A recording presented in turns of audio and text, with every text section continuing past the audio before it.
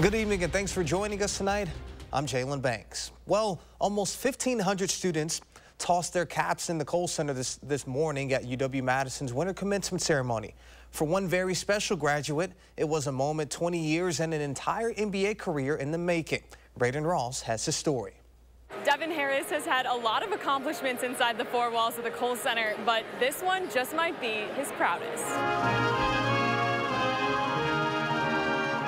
Already kind of teared up a little bit just being back in this building. Harris is no stranger to the bright lights of UW-Madison's basketball arena. I had a lot of success and, and a lot of games played and a lot of family members in, in the stands. But. but today he's back at his alma mater, not to take the court, but to walk across the stage.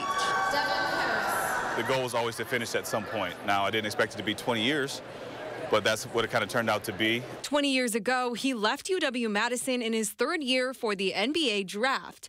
He landed a spot a little further south on the Dallas Mavericks, but as any UW alum will tell you, you're never too far from another Badger. I mean, I had watched Devin in college, uh, being that, you know, I'm a Wisconsin fan, so when we were able to draft him and to have him as a teammate, I was, I thought we got the best guy in the draft.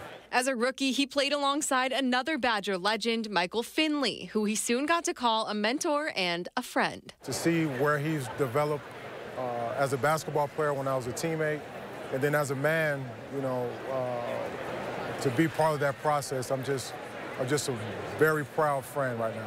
Harris watched as Finley came back to UW in 2014 to finish his degree, and now he's following in his footsteps again. Watching him go through the process of going back to school kind of set the table for me. So when he found out his former teammate, friend, and mentor would also be the commencement speaker on his graduation day, I didn't even have the raw talent, for example, of a kid from Milwaukee by the name of Devin Harris. It felt like fate. I'd just like to say, I'm very proud of you, young man. Very proud of you. It was a great surprise. It's a great full circle moment. It's been connected this whole time, and I think it's only fitting that we end the journey, you know, in, in, in that way. Reporting in Madison, Braden Ross, News 3 Now.